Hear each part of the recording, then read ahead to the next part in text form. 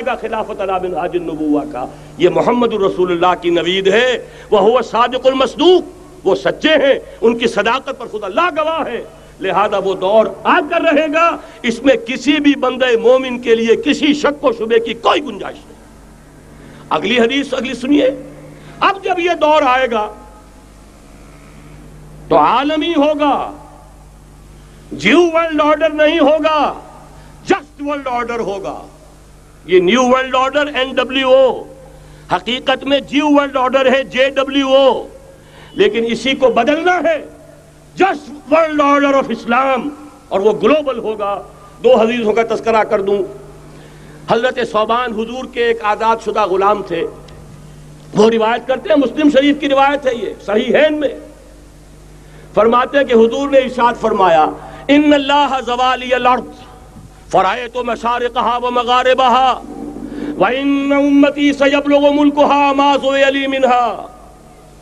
रवाह मुस्लिम हुजूर फरमाते अल्लाह ताला ने मेरे लिए पूरी ज़मीन को लपेट दिया। यहाँ तक कि मैंने उसके सारे मशरक देख लिए, सारे मगरब देख लिए। और सुन लो मुझसे टेक इट फ्रॉम मी मेरी उम्मत की हुकूमत उन तमाम इलाकों पर कायम होकर रहेगी, जो मुझे ज़मीन को लपेट कर और सुकेट कर दिखा दिए गए। ग्लोबल होगी कि नहीं? दूसरी हदीस सुनिए, ये फिर मुस्तद अहमद इब्न हम्बल की है। हज़रत मकदाद इब्न असवद रज़ी अल्लाह तआला फरमाते हैं, हुजूर ने फरमाया, ला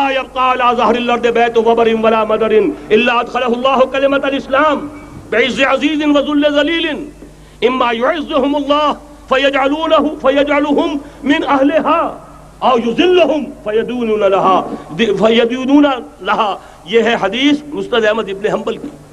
और हज़रत मिकदार फरमाते, फिर मैंने कहा अच्छा तब तो हो जाएगी वही बात। वह यकून दीन कुल दीन कुल का कुल अल्लाह के लिए हो जाएगा। हदीस का तर्जुमा यह है कि हुजूर ने फरमाया रूए ज़मीन पर न कोई ईट गारे का बना हुआ घर रहेगा। न कोई ऊँट के बालों के बने हुए कंबलों का खेमा रहेगा, जिसमें अल्लाह ताला कलमा इस्लाम को दाखिल न कर दे। लेकिन यह दाखिला दो तरीके से होगा। बेइज़्ज़ अजीज़िन वजुल्ल जलीलिन, या साहिब इज़्ज़त के एजाज के साथ, या किसी मगलूब की मगलूबियत के साथ। यानी या तो अल्लाह ताला उनका एजाज फरमाएगा और वो कलम इस्लाम के खुद कायल हो जाएँगे। जब घर वाला खेमे वाला इस्लाम ले आएगा तो इस्लाम उसके घर में दाखिल होगा, उसको भी इज़्ज़त नसीब होगी। वलिल्लाहिल वली रसूल ही वलिल मोमिनीन इज़्ज़त तो हक अल्लाह का, उसके रसूल का और अहले ईमान का। और अगर वो इस्लाम कबूल नहीं करेगा तो योतुल जिजियत यदिम वहुम सागिरून। छोटे होकर रहना पड़ेगा, जिजिया देना होगा, इस्लाम की बालादस्ती कबूल करनी होगी। बताइए, इसके बाद भी कोई शक है? ये है आसमानी नक्शा। ये अल्लाह फरमा रहे वल्लाह मुतिम नूर ही वह या बल्लातिम नूरहू। दीन कुल्ले ही वलाउ करे हल मुशरकून। ये अल्लाह का फैसला है। उधर युरीदून युतफेऊ है। ये जमीनी नक्शा है। अब शक्ल क्या है? अब मैं आपसे अर्ज़ कर दूँ कि इन दोनों के माबेन जो खला नज़र आ रहा है, कोई शख्स यकीन के साथ नहीं कह सकता कि अब हालात का क्या रुख होगा। इसलिए कि ज़ाहिर बात है, कुरान मजीद में मुस्तकबिल के बारे में खुद हुजूर से कहलवाया गया। वही नदरी, अकरीब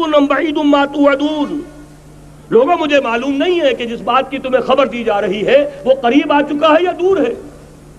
वही नदरी लाल लहू मताउन और मैं नहीं जानता, हो सकता है अल्लाह कुछ और मोहलत दे दे तुम्हें, और कुछ और आजमाइश जो है उसके लिए तुम्हारे लिए कोई और मोहलत अता फरमा दे। हो सकता है। तो मैं भी किसी दावे से नहीं कह रहा, लेकिन दो इम्कान हैं। इम्कान नंबर इम्कान नंबर एक क्या है? अभी आलम इस्लाम का एक सॉलिड ब्लॉक है, जो यहूदी वर्ल्ड ऑर्डर की निगाहों में खटक रहा है। मैं खटकता हूँ दिले यजदा में कांटे की तरह। अगरचे उनकी स्ट्रेटेजी क्या है? एक एक करके इनके हिस्से बखरे करके तिया पांचा करो। अभी वो ब्लॉक कौन सा है? ईरान है। अफ़गानिस्तान है। पाकिस्तान है। और रूसी तुर्किस्तान से आज़ाद होने वाली जो रियासतें हैं, ये एक सॉलिड ब्लॉक ये आजमी मुसलमान है, अरबी नहीं, अरबी गए। ये नोट कर लीजिए। इसलिए कि अरबों को अल्लाह ने फजीलत दी थी।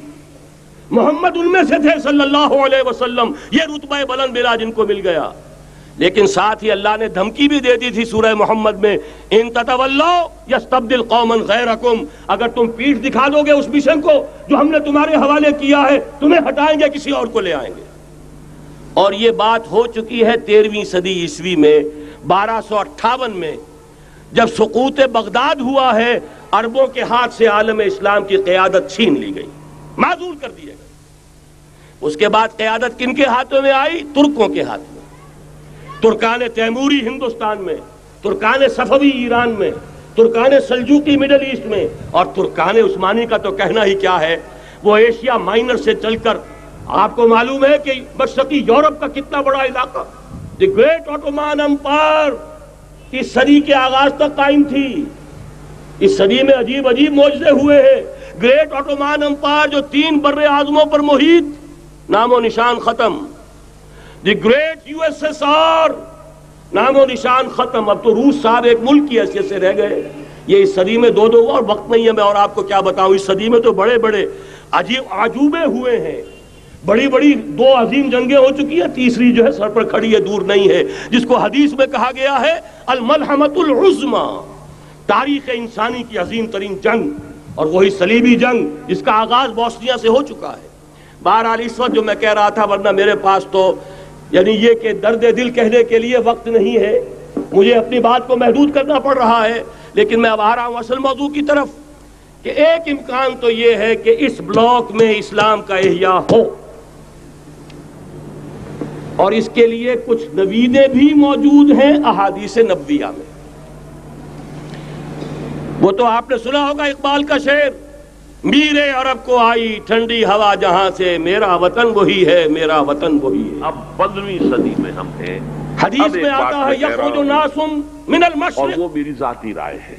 युअत्तिऊन अलिल महदी यानी सुल्तान मशरिक से फौजें निकलेगी करने का हर एक कि जो कि मेहदी की हुकूमत कायम करेंगी। मेरे नज़दीक ये मेहदी अहले तशैयो के मेहदी और है हमारे मेहदी और हैं।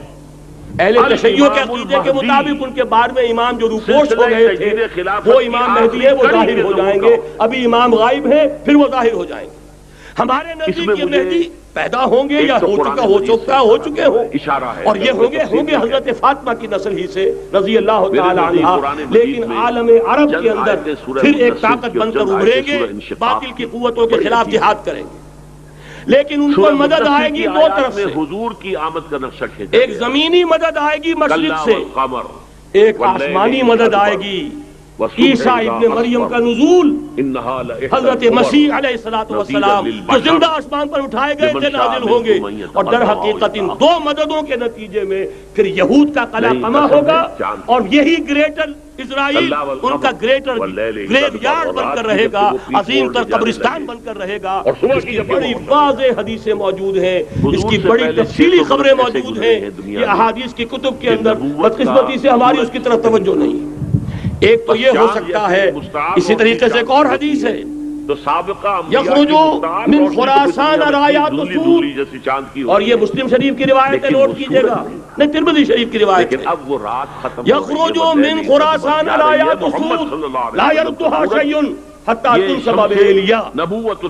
और खुरासान हुजूर के जमाने में आज के अफ़गानिस्तान का नाम।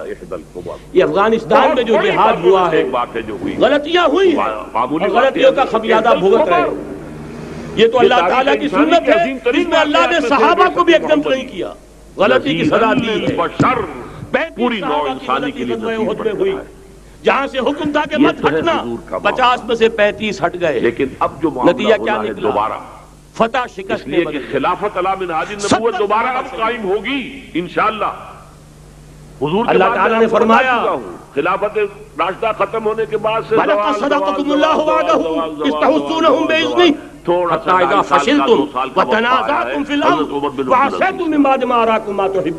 मुसलमानों हमसे गिला नहीं कर सकते। हमने अपना वादा सच्चा कर दिखा दिया था जबकि तुम उन्हें गाजर मूली की तरह काट रहे थे। लेकिन जब तुम ढीले पड़ गए तुमने डिसिप्लिन को तोड़ा तुमने इख्तलाफ किया तो सजा दिया एक हज़ार साल के बाद फिर तो अगर सहाबा साल तक खैर पूरी इंसानी के अंदर अम्बिया के बाद बलम तरीन इंसान।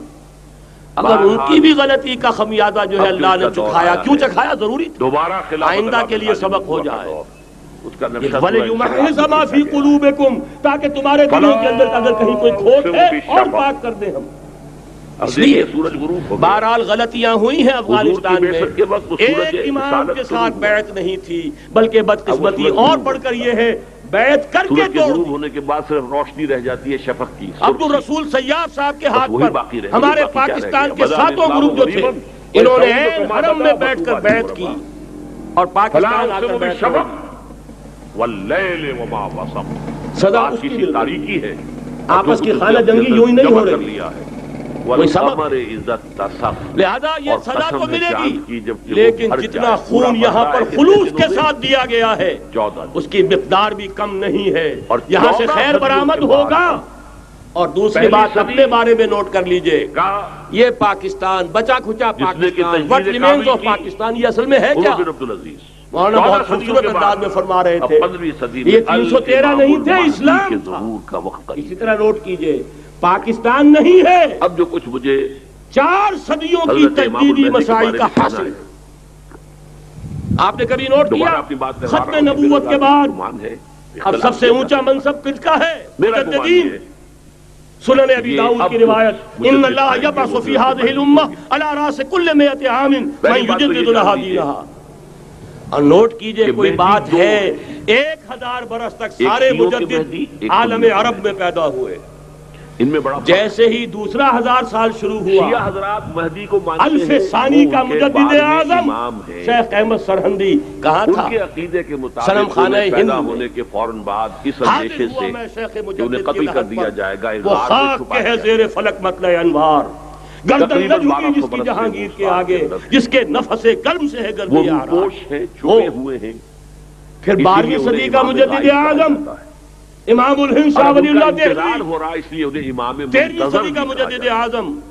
इसलिए शियों के दारूलूम मुंतजम उसके खून का अमीन उनका इंतज़ार और उसके साथ के शोहदा के खून का अमीन उनके जिसमों का अमीन आपका खिता हजारा आपका खिता सवाल इसमें उनकी जाने हैं जो दी दी गई है और वो नहाय साहबा के बाद इतना खालिश इस्लामी पूरी मुसलमान तारीख में नहीं मिलेगा जितना वो तहरीके शहीद नहीं। चौदहवीं सदी हिजरी में शेख उल हिंद जैसा मुजाहिद आज़म के अंग्रेज़ ने गिरफ़्तार करके कैद भी किया है। तो कहा हिंदुस्तान में नहीं?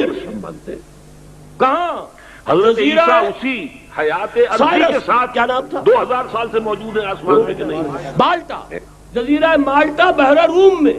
आपको मालूम है के नफस से लाले की आग तेज ऐसे गज़ल सरा को चमन से निकाल दो। कहीं हिंदुस्तान की किसी जेल में हुआ तो शायद इसके नफस की गर्मी ही से कोई हरारत पैदा होगा और उसी सदी में चौदहवीं सदी हिजरी में इकबाल जैसा मुफक्किर मिलता है।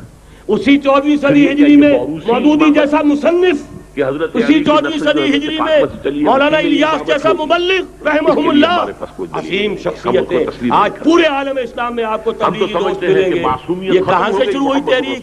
दिल्ली की एक तो छोटी सी मस्जिद से। मस्जिद बंगले वाली। अब तो बड़ी आलिशान हो गई है। जब वहाँ शुरू हुआ था काम बड़ी छोटी सी मस्जिद? ये सारे काम यहाँ क्यों हुए?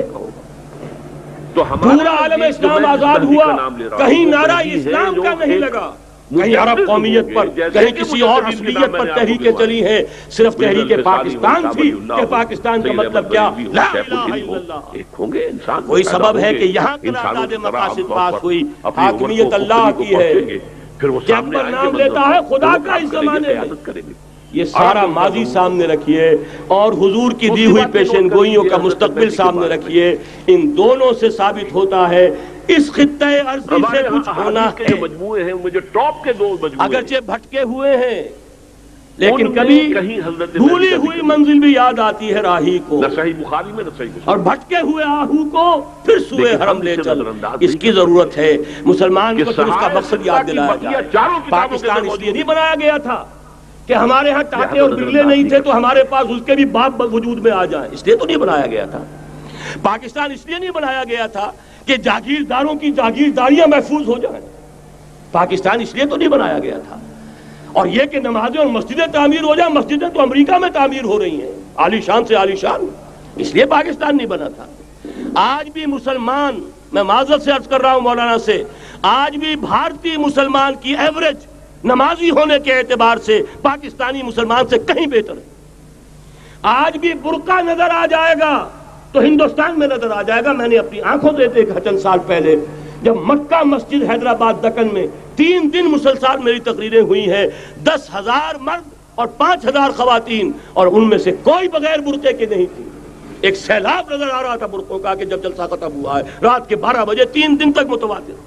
यहाँ कहाँ नज़र आएगा बुरका आपको? यहाँ तो जिसके पास दो पैसे हो गए, उसने सबसे पहले बुरका उतार के फेंक दिया। मालूम अच्छी तरह समझ लीजिए ये चीज़ें तो वहाँ ज़्यादा हैं यहाँ की निस्बत। असल ज़रूरत थी कि यहाँ उस निज़ाम को कायम किया जाए। वो निज़ाम अदल इज्तमाही वो जिसमें हुर्रियत हो, जिसमें आम आदमी भी खलीफे वक्त को टोक सके, ये कुर्ता कैसे बन गया? एक खातून भी खड़ी होकर दामन पकड़ ले। उमर, तुम्हें क्या हक है कि हमारे मेहर के ऊपर पाबंदी लगा रहे हो, जबकि अल्लाह ने नहीं लगाई? अल्लाह कुरान में किंतारा का लफ्ज इस्तेमाल कर रहा है। ढेरों सोना दे दे कोई शख्स अपनी बीवी को मेहर के अंदर तलाक देते वक्त उसमें से कुछ नहीं ले सकता। आप कौन होते हमारे हक के ऊपर पाबंदी लगाने वाले? और उमर ने कहा, आज एक बुढ़िया ने वो अब उमर को दीन सिखाया ऑर्डिनेंस वापस। हज़रत साद रज़ी अल्लाह जो फातिह ईरान थे, वो गवर्नर ऐसे ही नहीं बन गए थे, रेवड़ियाँ बटी हो और गवर्नर ही मिल गई हो। वो तो खुद फाते थे ईरान के, इसलिए गवर्नर थे। सिर्फ़ एक पर्चा पहुँचा है। बारगाह खिलाफत में हज़रत उमर फारूक के पास इंफॉर्मेशन आई। साद ने अपने घर के बाहर डेवढ़ी बना ली है और एक दरबान खड़ा कर दिया है। हज़रत बिलाल को भेजा है, रुका देकर। और यह हुक्म था कि बिलाल, पहले तो जाते ही डेवढ़ी में आग लगा देना। फिर यह रुका देना मेरा। और रुके में लिखा हुआ था साथ लोगों को उनकी माँ उन्हें आज़ाद जाना था। तुमने उन्हें अपना गुलाम कब से बना लिया है? ये दरबान खड़े कर दिए अपने आगे। वो हुर्रियत, वो मसावत, कि जा रहा हो खलीफा वक्त और चार्ज लेने जा रहा है बैतुल मकदिस का। कोई जाती इलाज के लिए नहीं जा रहा, सैरो सेहत के लिए नहीं जा रहा। चार्ज लेने के लिए बिल्कुल सरकारी विज़िट है, ऑफिशियल विज़िट है, स्टेट विज़िट है। और हाल क्या है? 700 मील का फासला तय करना और एक ऊंटनी कोई एंटूरेज नहीं, कोई कदम व हशम नहीं, कोई जंबो जट भरे हुए नहीं, कुछ नहीं। एक ऊंटनी, एक खादिम। उस एक ऊंटनी पर चूँकि रास्ते का राशन भी है, लिहाजा दो आदमी नहीं बैठ सकते। एक बैठ सकता है। एक मंजिल खलीफा वक्त बैठा हुआ है ऊपर और खादिम नुकेल पकड़कर चल रहा है।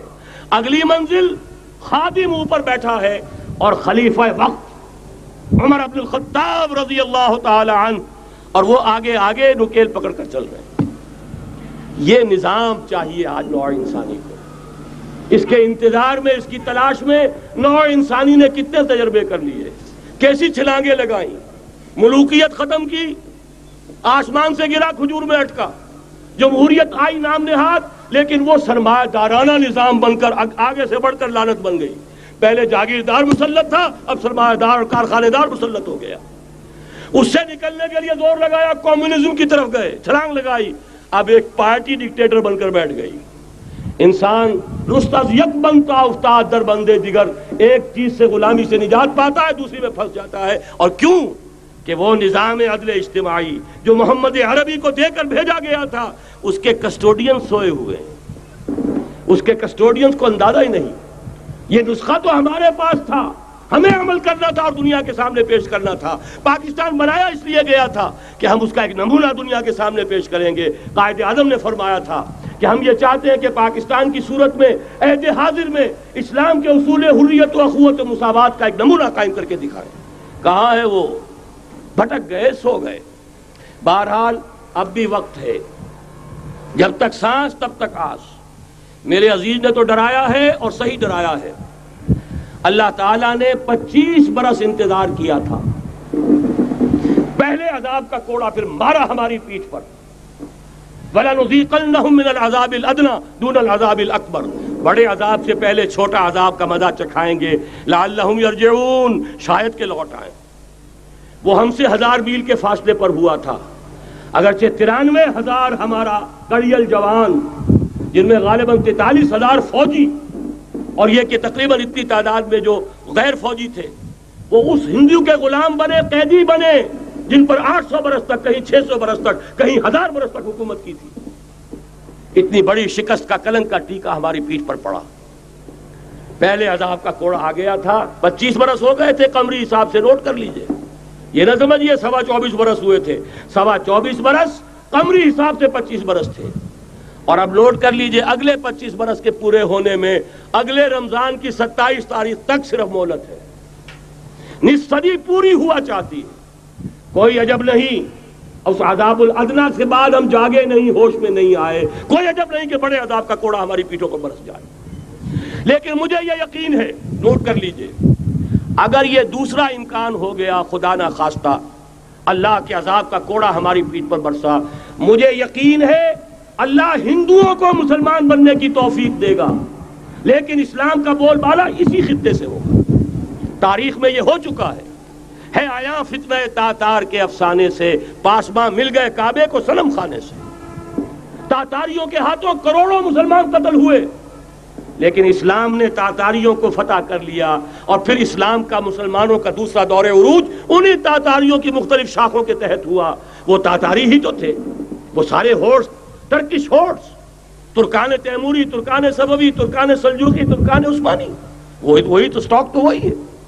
है, आया फितना तातार के अफसाने से। पासमा मिल गए काबे को सनम खाने से। इसलिए कि हजूर ने फरमाया, मशरक से होगा। यहाँ से फौजी चलेंगी। तो कोई अजब नहीं। बहरहाल ये दो इम्कान हैं। लेकिन इसका फैसला फैसला तेरा तेरे हाथों में है। दिल या बदन सीधी सीधी बात। अगर तो अब भी हम ठीक हो जाए, जाग जाए, होश में आ जाए, कौम यूनुस की तरह तोबा कर ले तो बगैर अजाब के कोड़े के रहमत खुदाबंदी हम पर साया करेगी। अगर हम ना जागे तो वह अजाब का कोड़ा आएगा। ये नहीं मैं कह सकता नदरिया करीब बैदू मातू अदून ये मैं नहीं कह सकता। यकीन के साथ जानता हूँ कि आएगा। लेकिन यह कि उसके बाद भी यहीं से बोल बोलबाला होगा। अगर हमारे ज़रिए नहीं तो उनके ज़रिए से जो हमें शिकस्त देकर फिर इस्लाम कबूल कर लेंगे। लेकिन क्यों ना पहले ही रास्ते पर चलने की कोशिश कर।